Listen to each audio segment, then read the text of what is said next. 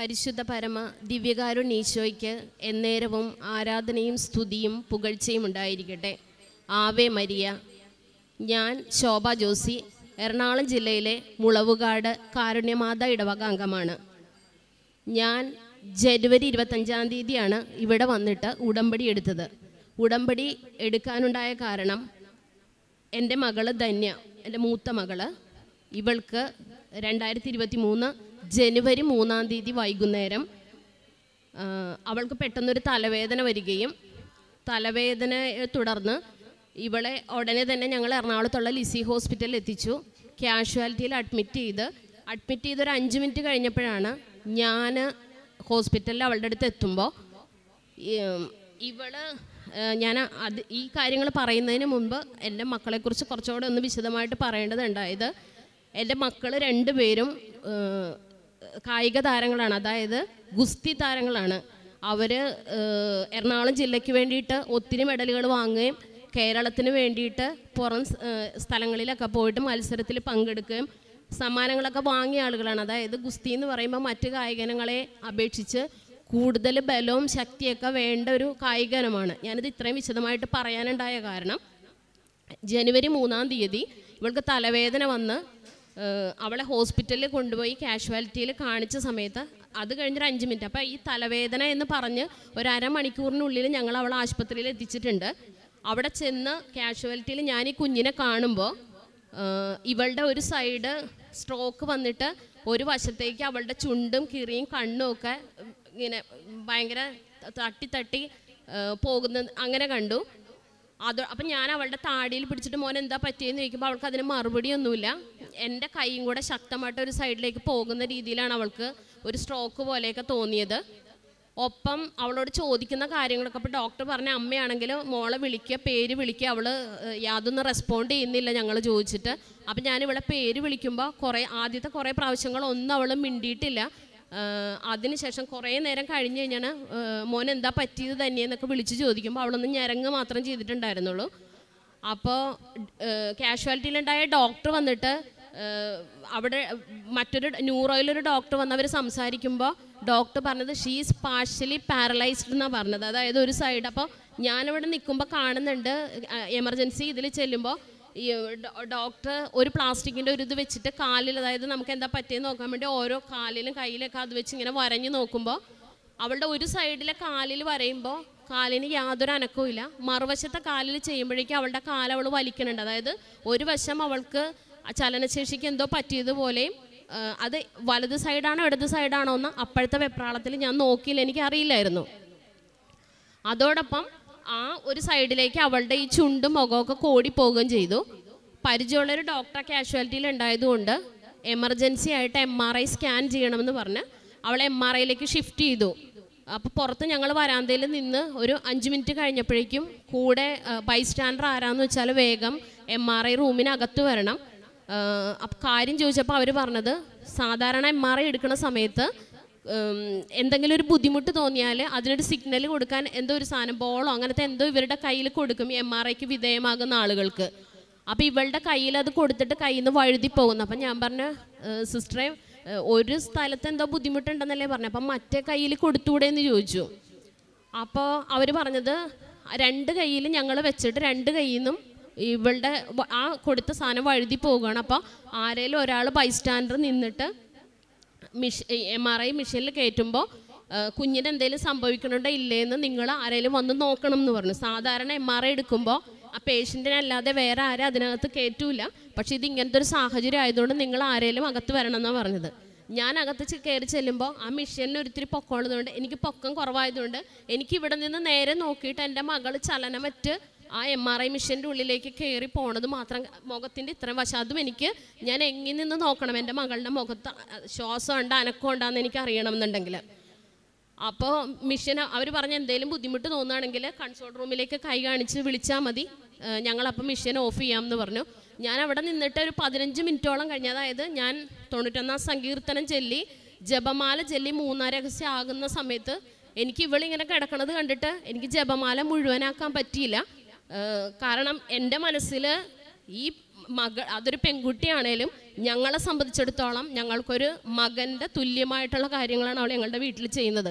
അതായത് എന്തെങ്കിലും ഒരു കാര്യം നമ്മൾ രണ്ട് കൈ കൊണ്ട് ആയാസപ്പെട്ട് ചെയ്യുന്ന പണികൾ അവളൊരു കൈ കൊണ്ട് വളരെ അതായത് ഒരു ആൺകുട്ടിക്ക് പറ്റുന്നതിലും എളുപ്പമായിട്ട് അവൾ അത്രയും ബലവും ശക്തിയുള്ള കുഞ്ഞാണത്.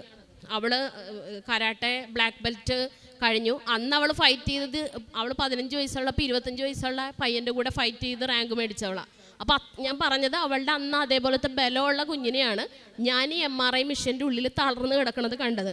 ആ സമയത്ത് എനിക്ക് ഞാൻ അവിടെ നിന്ന് കരഞ്ഞ് പ്രാർത്ഥിച്ച് ഞാൻ ഈ ജപമാല തന്നെയാണ് എന്റെ കയ്യിലുണ്ടായിരുന്നത്.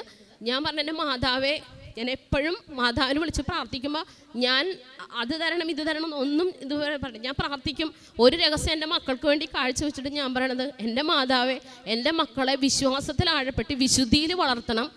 ആ വിശുദ്ധരായിട്ട് ജീവിക്കണത് കാണാൻ ഞങ്ങൾക്ക് കൃപ തരണം എന്ന് ഞാൻ എന്റെ മക്കൾക്ക് വേണ്ടി പ്രാർത്ഥിക്കുന്ന പ്രാർത്ഥന അതാണ്. അവരെന്ത് നേട്ടം നേടിയാലും എന്റെ മക്കൾക്ക് വിശ്വാസമില്ല വിശുദ്ധിയില്ലെങ്കിൽ പിന്നെ എല്ലാ നേട്ടങ്ങളും കൊണ്ട് യാതൊരു കാര്യമില്ലെന്ന് എനിക്കൊരു ഉറപ്പുണ്ടായിരുന്നു. ഞാനെന്നാ മിഷനിൽ നിന്നിട്ട് എനിക്ക് എങ്ങി നോക്കിയിട്ട് പോലും എന്റെ മകളുടെ മുഖം എനിക്ക് കാണാൻ പറ്റിയില്ല. അപ്പം ഞാൻ അവിടെ നിന്നിട്ട് അതായത് എം ആർ ഐ റൂമിന്റെ ഉള്ളിൽ ആ മിഷ്യന്റെ ഭയങ്കര സൗണ്ട് അത് നമുക്ക് സഹിക്കാൻ പറ്റാത്ത സൗണ്ടാണ് അവർ കൊണ്ടുവന്നൊരു ഇയർഫോൺ വെച്ച് തന്നിട്ട് പറഞ്ഞ് പരമാവധി ചേച്ചി മോൾക്ക് വേണ്ടിയിട്ടല്ല ഇത് സഹിച്ച് നിൽക്കുക അത്രയും ശബ്ദം ഉണ്ടെങ്കിലും ഞാനപ്പോൾ ആ റൂമിൽ നിന്ന് അതിനേലും ശബ്ദത്തിൽ അലറി വിളിച്ചിട്ടാണ് എന്റെ മാതാവെ ഞാൻ നിന്നിൽ വിശ്വസിക്കുന്നു. എന്റെ മകൾ ഇതുപോലെ ചലനൊറ്റ കിടക്കുമ്പോൾ ആ മിഷന്റെ അടുത്തേക്ക് പോകാനായിട്ട് എനിക്ക് പറ്റൂല. പക്ഷേ ഇപ്പം മാതാവ് ഇറങ്ങി വന്ന് ഈശോനെ കൂട്ടി വന്ന് എന്റെ മകളുടെ അടുത്ത് ആ മിഷന്റെ അടുത്ത് വന്ന് നിന്ന് എനിക്ക് മാതാവ് വന്നെന്നുള്ള തെളിവ് തരണം എന്ന് പറഞ്ഞു. മൂന്നാം രഹസ്യം ചെല്ലി തുടങ്ങിയപ്പോഴാണ് ഞാൻ ഈ അലറി വിളിച്ച് കരയാനൊക്കെ തുടങ്ങിയത്. ഞാനത് പറഞ്ഞ് കണ്ണടച്ചിട്ട് എന്റെ മാതാവ് നീ വന്നെന്ന് എനിക്ക് തെളിവ് തരണം എന്ന് പറഞ്ഞ അതേ നിമിഷം എം ആർ ഐ മെഷീനിൽ ഇവളെ കിടത്തിയേക്കണം. ഞെട്ടി ശരീരം മൊത്തം അനങ്ങത്തക്ക രീതിയിൽ അവൾ ഞെട്ടി എഴുന്നേറ്റു. അപ്പം ഞാൻ കൈകൊണ്ട് പുറകോട്ട് കാണിച്ചപ്പോൾ കൺസോൾ അവിടെ നിന്ന് റൂമിന്റെ ഉള്ളിൽ നിന്ന് അവർ ഇറങ്ങി വന്ന് രണ്ടാമത് അവൾ ഇതാക്കിയിട്ട് പറഞ്ഞ് ചേച്ചി വിഷമിക്കുകയും കരയൊന്നും വേണ്ട കുഞ്ഞിന് കുഴപ്പമൊന്നുമില്ലല്ലോ അവൾ ഇപ്പം അനങ്ങിയില്ലേ? ശരീരം മുഴുവനും അനക്കി അവൾ അനങ്ങിയില്ല? ഇനി പേടിക്കണ്ടെന്ന് പറഞ്ഞു. അപ്പോൾ ആ നിമിഷം മുതൽ ഞാൻ എന്റെ മാതാവ് എന്റെ കൈ പിടിച്ച് ഇത്രയും വലിയൊരു സാക്ഷ്യം പറയാൻ എന്നെ ഇവിടെ നിർത്താൻ ഒരുക്കി ഇതിന്റെ തുടക്കമായിരുന്നത്. ഇത് കഴിഞ്ഞ് എം ആർ ഐ എടുത്തു കഴിഞ്ഞപ്പോഴേക്കും അവർ പറഞ്ഞു മകളുടെ തലച്ചോറിന്റെ ഭാഗത്തായിട്ട് ഒരു നീർക്കെട്ട് പോലെ കാണുന്നുണ്ട്. ഇവൾ ഉടനെ ഐ സിയുലേക്ക് ഷിഫ്റ്റ് ചെയ്യണം എന്ന് പറഞ്ഞു.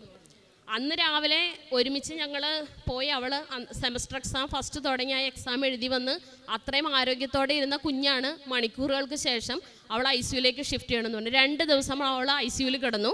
ഡിസംബർ മുപ്പത്തൊന്നിന് ആ ഡിസംബർ മുപ്പതാം തീയതി സംസ്ഥാന ഗാട്ടാ ഗുസ്തി മത്സരം ഫോർട്ട് കൊച്ചിയിൽ വെച്ച് നടന്നതിൽ എന്റെ രണ്ട് മക്കളും പങ്കെടുത്ത് രണ്ട് പേർക്കും നാഷണൽ മത്സരത്തിന് പോകാനായിട്ട് അവസരം കിട്ടിയതുകൊണ്ട് ഇവൾക്ക് സെമസ്റ്റർ എക്സാം തുടങ്ങി. അപ്പോൾ അതിന് കുറച്ച് ദിവസം കുറച്ച് മാസങ്ങൾക്ക് മുമ്പ് അവൾ എം ജി യൂണിവേഴ്സിറ്റിയുടെ നാഷണൽ മത്സരത്തിൽ പോയി വന്നതുകൊണ്ട് ഇവൾ എന്റെ അടുത്ത് പറഞ്ഞത് അമ്മ ഞാനിപ്പോൾ നാഷണൽ മത്സരത്തിന് പോയി വന്നതല്ലേ ഉള്ളൂ. എനിക്കിനി എക്സാം ആയതുകൊണ്ട് ഞാൻ ഈ മത്സരത്തിന് പോകുന്നില്ല.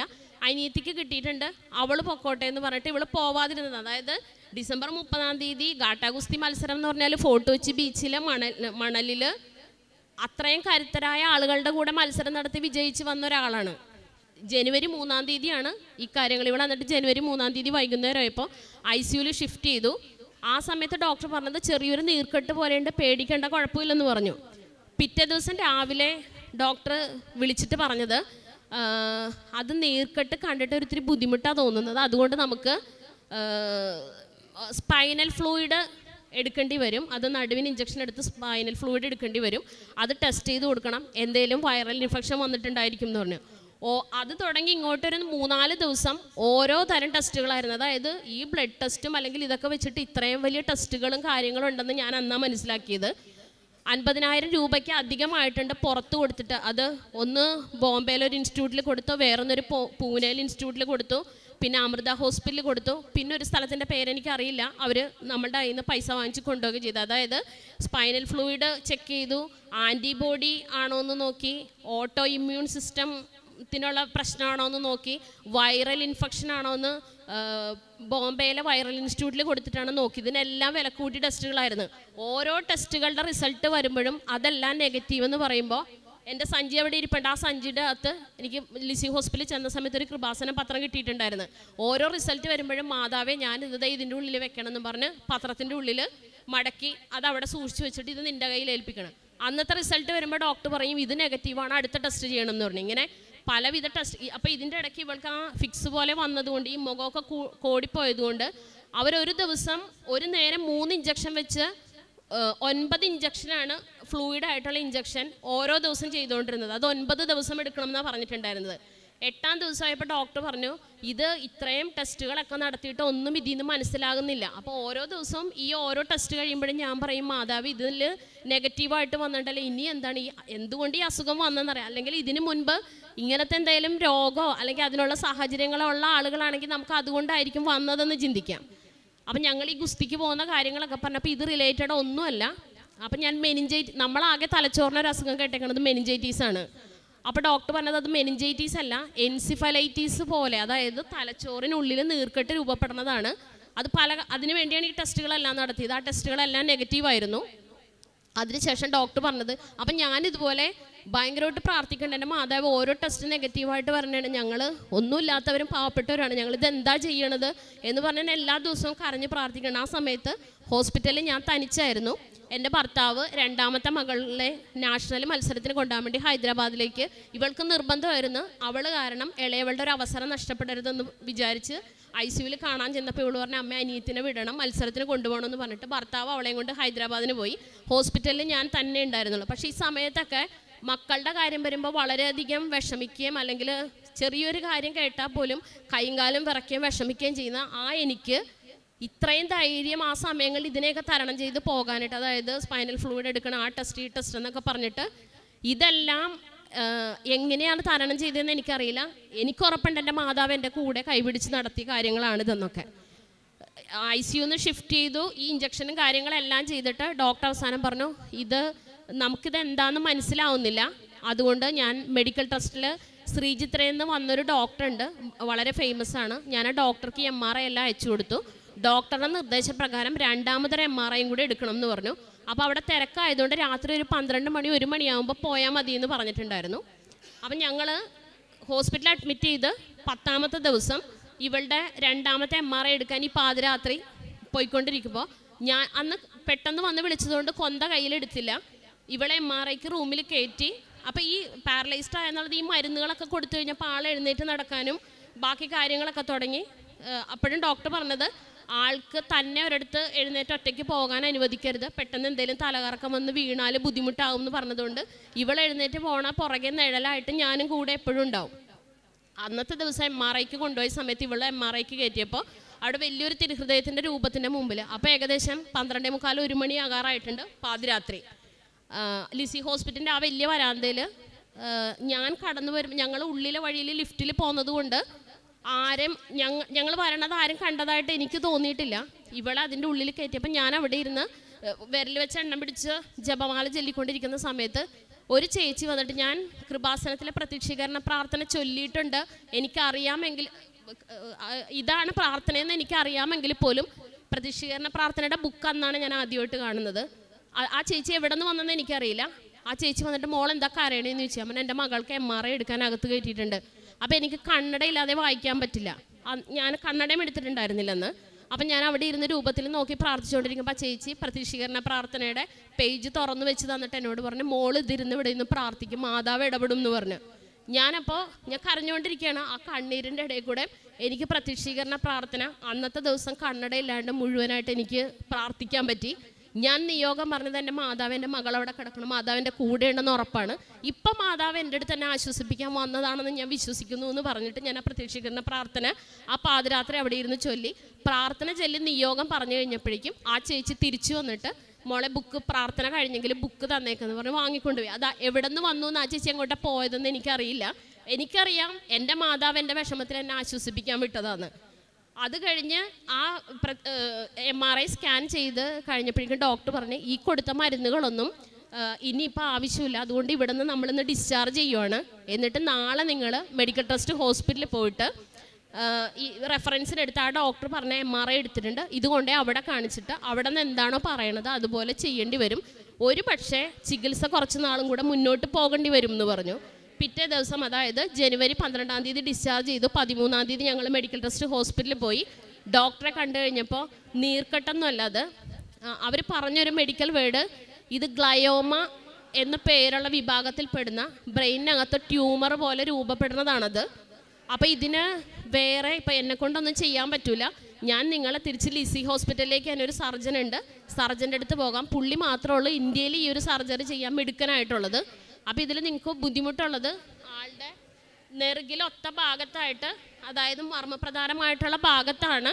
ആ ചെറിയ ഒന്നര സെന്റിമീറ്റർ വലിപ്പമുള്ള അത് ഇരിക്കുന്നത് അത്രയും മർമ്മപ്രധാനമായ ഭാഗത്തായതുകൊണ്ട് ആ- ഡോക്ടർ മാത്രമേ ആ സർജറിക്ക് ചെയ്യാൻ പറ്റുന്ന ഒരാളുള്ളൂ. അപ്പം നിങ്ങൾ തിരിച്ചങ്ങോട്ട് പോകാൻ പറഞ്ഞ്. അതനുസരിച്ച് ഞങ്ങൾ ലിസി ഹോസ്പിറ്റലിൽ രണ്ടാമത് വന്ന് അഡ്മിറ്റ് ആയി. ഈ സംഭവം ഇത്രയും ദിവസം ആയപ്പോഴാണ് ഇവർ ഹൈദരാബാദിലെ മത്സരം കഴിഞ്ഞ് തിരിച്ചു വരുമ്പോൾ എനിക്ക് കുഞ്ഞുങ്ങളുടെ കാര്യത്തിൽ എന്നെ എന്നെക്കാളും കൂടുതൽ ആകുലത അവരുടെ അപ്പയ്ക്കാണ്. എന്തെങ്കിലും ചെറിയ കാര്യങ്ങൾ കേട്ട പുള്ളിക്ക് വിഷമമാകണതുകൊണ്ട് എനിക്ക് ഇതൊക്കെയാണ് ഡോക്ടർ പറഞ്ഞ കാര്യങ്ങളെന്ന് എനിക്കൊരാളുടെ അടുത്ത് ഷെയർ ചെയ്യാൻ പറ്റിയില്ല. അതായത് ഭർത്താവിനോട് പറയാൻ എനിക്ക് ഒരു വിഷമം എന്താണെന്ന് വെച്ചാൽ പുള്ളി അത് വിഷമിക്കും പ്രഷറൊക്കെ കൂടുതലുള്ളതാണ് അപ്പോൾ ഞാൻ ഞാനിപ്പോൾ ഉള്ളിൽ വിഷമിക്കണുണ്ടെങ്കിലും മറ്റുള്ളവരെയും കൂടി അത് പറഞ്ഞ് വിഷമിപ്പിക്കേണ്ട. ദൈവം ഇടപെടും എന്നുള്ളൊരു വിശ്വാസത്തിൽ രണ്ടാമത് ലിസി ഹോസ്പിറ്റലിൽ പോയിട്ട് ജനുവരി പതിനഞ്ചാം തീയതി അഡ്മിറ്റായി പതിനാറാം തീയതി ഡോക്ടർ വന്ന് കണ്ടതിന് ശേഷം പറഞ്ഞു ഇത് നമുക്ക് എമർജൻസി സർജറി ചെയ്യേണ്ട ആവശ്യമുണ്ട്. അപ്പോൾ അത് എത്രയും പെട്ടെന്ന് ചെയ്യാമെന്ന് പറഞ്ഞു. അപ്പോൾ ഈ കൃപാസനം പത്രം കയ്യിൽ കിട്ടിയതിൽ കൃപാസനം എന്ന് എഴുതിയേക്കുന്ന ഹെഡിങ് ഉണ്ട്. അത് ഞാൻ മുറിച്ചെടുത്തിട്ട് മകളുടെ തലയിൽ ഹെയർ ബാൻഡ് വെക്കണ പോലെ മുടിയുടെ ഇടയിൽ ഞാനത് കൊളത്തി വെച്ചു. ഞാൻ പ്രാർത്ഥിച്ചത് ഇതിനകത്ത് എവിടെയാണ് അസുഖം? എനിക്കറിയില്ല മാതാവേ.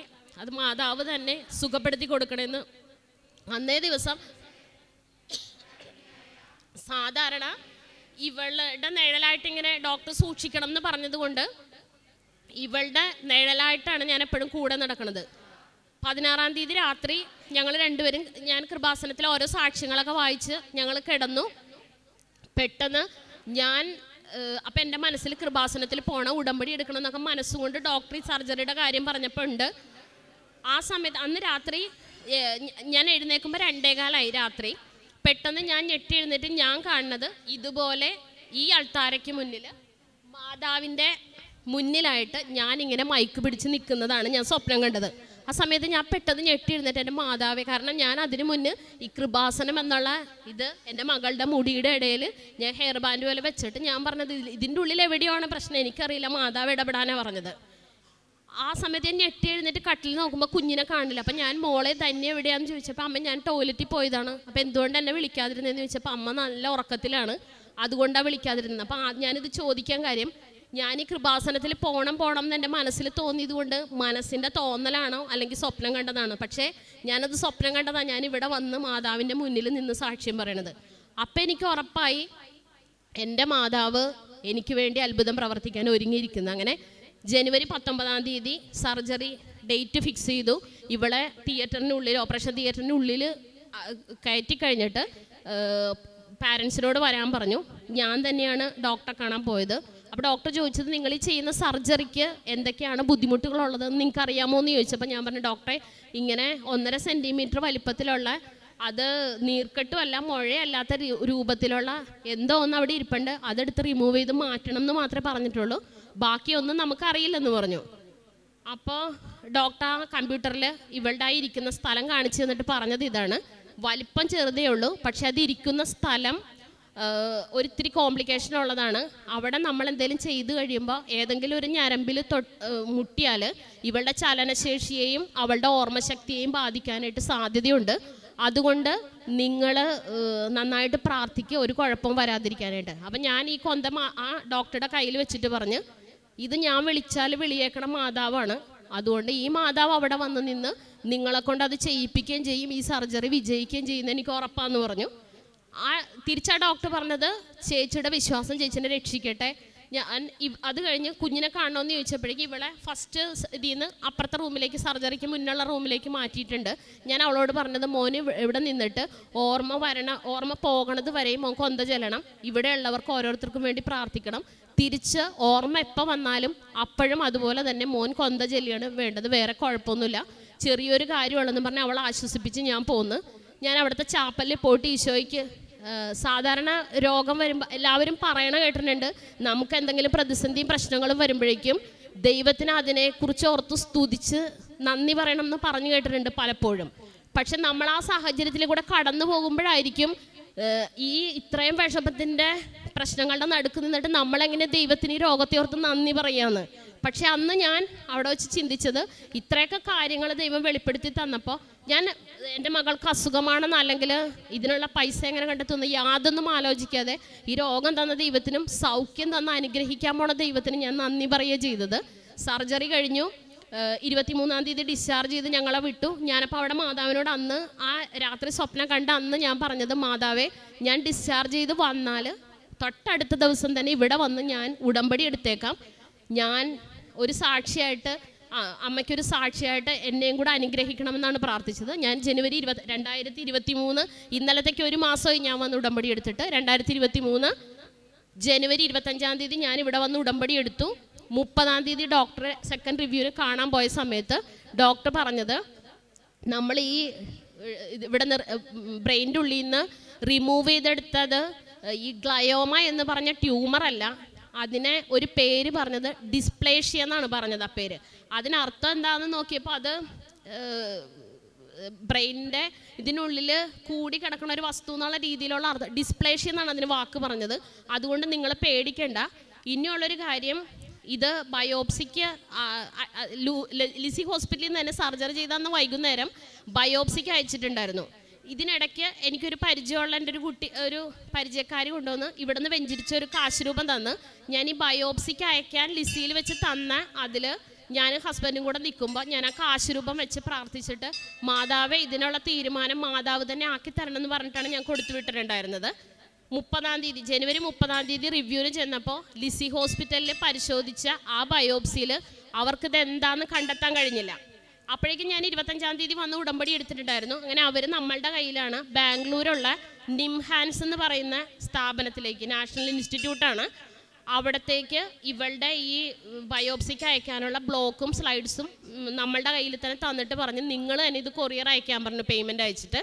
ഞാൻ ആ സാധനം വീട്ടിൽ കൊണ്ടുവന്ന് ഓരോ ദിവസം കിട്ടുന്ന റിപ്പോർട്ട് കൃപാസന പത്രത്തിനുള്ളിലാക്കി ഞാൻ എന്റെ രൂപത്തിന്റെ മുന്നിലാണ് വെച്ചിട്ടുള്ളത്. ഇന്ന് വന്നപ്പോഴും ഞാൻ അത് അതുപോലെ തന്നെ കൊണ്ടുവന്നിട്ടുണ്ട് ഓരോ റിപ്പോർട്ടുകളും. അന്നും ഞാൻ അത് കൊണ്ടുവന്ന് രൂപത്തിന്റെ മുമ്പിൽ വെച്ചിട്ട് മാതാവെ നീ ഇടപെടണം. ഈശോയോട് കൂടെ എന്താണെന്ന് വെച്ചാൽ ചെയ്തു തരണം. പിറ്റേ ദിവസം ഇത് കൊറിയർ അയക്കണ സമയത്ത് ഞാൻ എന്റെ ഉടമ്പടി കാശ് രൂപം ആ റിസൾട്ടിൽ അങ്ങോട്ട് ടെസ്റ്റ് ചെയ്യാൻ അയക്കാൻ വെച്ച ആ ബ്ലോക്കിലും സ്ലൈഡ്സിലും വെച്ച് വിശ്വാസ പ്രമാണം ചൊല്ലി പ്രാർത്ഥിച്ചിട്ട് ഞാൻ ഒരൊറ്റ വാക്കേ പറഞ്ഞോളൂ. മാതാവെ അവിടെ പോയിട്ട് ഇത് തിരിച്ചു വരുമ്പോഴും ഇതിനകത്ത് എന്റെ മകൾക്ക് യാതൊരു അസുഖമില്ല എന്നുള്ളൊരു തെളിവ് വരുമെന്ന് എനിക്ക് ഉറപ്പുണ്ട്. എന്റെ മാതാവ് അത് ചെയ്യുമെന്ന് എനിക്ക് ഉറപ്പുണ്ട്.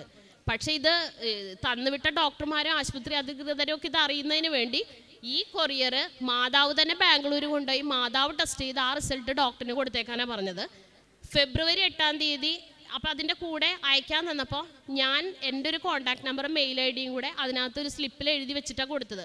അപ്പോൾ അയച്ച പേയ്മെന്റ് ഒരു ഇത്തിരി കുറവായതുകൊണ്ട് അവിടെ നിന്ന് എന്നെ വിളിച്ചു ബാലൻസ് പേയ്മെന്റ് അയക്കാൻ സമയത്ത്. അപ്പോൾ ഞാൻ അയാളോട് റിക്വസ്റ്റ് ചെയ്തു എനിക്കും കൂടെ ഒരു റിപ്പോർട്ട് അയക്കണം. ഡോക്ടറെ ഇനിയിപ്പോൾ വേറെ ഏതെങ്കിലും ഹോസ്പിറ്റലാണ് കാണണമെങ്കിൽ നമുക്കും കൂടെ റിപ്പോർട്ട് വേണ്ടതെന്ന് അതിന് ഫെബ്രുവരി രണ്ടാം തീയതി ഡോക്ടർക്ക് റിപ്പോർട്ട് പോയ പോലെ തന്നെ എന്റെ മെയിലിലേക്കും അതിനൊരു റിപ്പോർട്ട് വന്നു. അതിൽ പറഞ്ഞത് ഇത് തലച്ചോറിനുള്ളിൽ യാതൊരു ഉപദ്രവവും വരാത്ത രീതിയിലുള്ള എന്തോ ഒരു വസ്തു അടിഞ്ഞുകൂടിയതാണ്. അപ്പോൾ ആദ്യത്തെ മെഡിക്കൽ ടെസ്റ്റിൽ പോയ ഡോക്ടർ പറഞ്ഞത് ഈ സർജറി ചെയ്ത് കഴിഞ്ഞിട്ട് കുറച്ച് നാളുകൾ ഇവൾക്ക് ട്രീറ്റ്മെന്റ് അതിനോടനുബന്ധിച്ചത് ചെയ്യേണ്ടി വരും എന്നാണ് പറഞ്ഞത്. പക്ഷേ എട്ടാം തീയതി ഈ റിസൾട്ട് വന്നപ്പോൾ നമ്മൾ ഹോസ്പിറ്റലിലേക്ക് പോകാൻ സമയമാകാത്തത് കൊണ്ട് ഞങ്ങൾ നമുക്ക് പരിചയമുള്ള വേറൊരു ഡോക്ടർ ഇത് കാണിച്ച് പറഞ്ഞു ചേച്ചി ഇതിൽ കുഴപ്പങ്ങളൊന്നും കാണുന്നില്ല. പേടിക്കാനുള്ള കാര്യങ്ങളൊന്നുമില്ലെന്ന് പറഞ്ഞു. ഇന്നലെ ഞങ്ങൾ മിനിയാന്ന് പെട്ടെന്ന് വൈകുന്നേരം ഇവൾക്ക് പിന്നെയും തലവേദന വന്നു.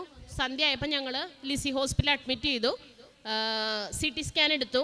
ആദ്യത്തെ സി ടി സ്കാൻ എടുത്തപ്പോൾ അവർ പറഞ്ഞത് ഈ സൈഡിലായിട്ട് അവൾക്ക് വലത് സൈഡിലായിട്ട് അവൾക്ക് ചെറിയൊരു ബ്ലീഡിങ് പോലെ കാണുന്നുണ്ടെന്ന്. അത് കഴിഞ്ഞ് കുറച്ച് കഴിഞ്ഞ് ഡോക്ടർ പറഞ്ഞു ഞങ്ങൾ രണ്ടാമതൊന്നും കൂടെ C T scan angio C T scan എടുക്കുവാണ്. ഞാൻ ആ സമയവും ഉടമ്പടി കാശ് രൂപ എന്റെ കയ്യിലുണ്ടായിരുന്നു. ഞാൻ അവളെ സി ടി സ്കാനിന് കൊണ്ടുപോകുന്ന സമയത്ത് അവിടെ നിന്ന് മാതാവിന്റെ കാശുരൂപ അവളുടെ തലയിൽ തൊട്ടൊക്കെ പ്രാർത്ഥിച്ച് വിശ്വാസ പ്രമാണം ചൊല്ലി പ്രാർത്ഥിച്ച് അവളും ഒപ്പം പ്രാർത്ഥിക്കുന്നുണ്ടായിരുന്നു. സി ടി സ്കാൻ എടുത്തു കഴിഞ്ഞ് ഡോക്ടർ വന്നിട്ട് പറഞ്ഞ് അത് ബ്ലീഡിംഗ് ഒന്നും അല്ല കണ്ടത്. അത് കാൽഷ്യം പോലെ എന്തോ ആണ്.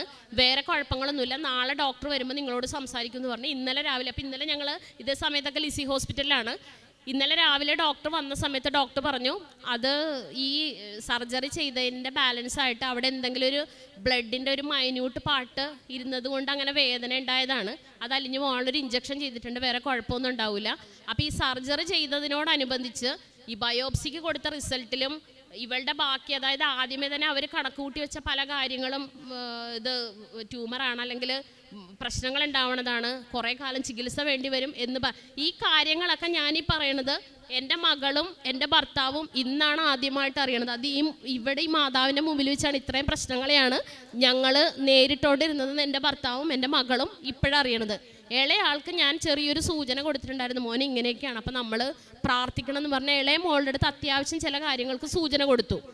ഇവരോട് ഇവർ രണ്ടുപേരും ഇത്രയൊക്കെ പ്രശ്നങ്ങളാണെന്ന് ഇപ്പോഴറിയണത് അപ്പോൾ ഡോക്ടർ ഇത്രയൊക്കെ പ്രശ്നങ്ങൾ ഉണ്ടെന്ന് പറഞ്ഞ അതേ ഡോക്ടർ തന്നെയാണ് ഇന്നലെ രാവിലെ പത്തരയായപ്പോൾ വന്നിട്ട് പറഞ്ഞത് ഈ ടെസ്റ്റ് എല്ലാം ചെയ്തതിൽ യാതൊരു കുഴപ്പമില്ല ഇത് ഇന്ത്യയിൽ ഇത് രണ്ടാമത്തെ സർജറിയാണ്. ഡോക്ടറുടെ ഇരുപത് വർഷത്തെ എക്സ്പീരിയൻസിൽ രണ്ടാമത്തെ സർജറിയാണ് ഇങ്ങനെ ചെയ്യണത്.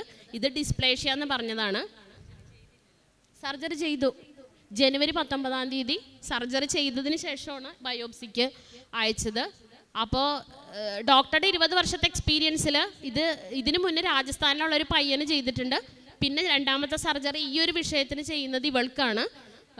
ഇതിനോടനുബന്ധിച്ച് യാതൊരു പ്രശ്നങ്ങളും അവൾക്കിനി ഭാവിയിൽ ഉണ്ടാകുമില്ല ഇങ്ങനെ ഒരു അസുഖമേ തന്നെ ഇല്ലെന്നാണ് ഇന്നലെ ഡോക്ടർ സാക്ഷ്യപ്പെടുത്തിയത്. ഇത്രയും വലിയൊരു അനുഗ്രഹം തന്ന്.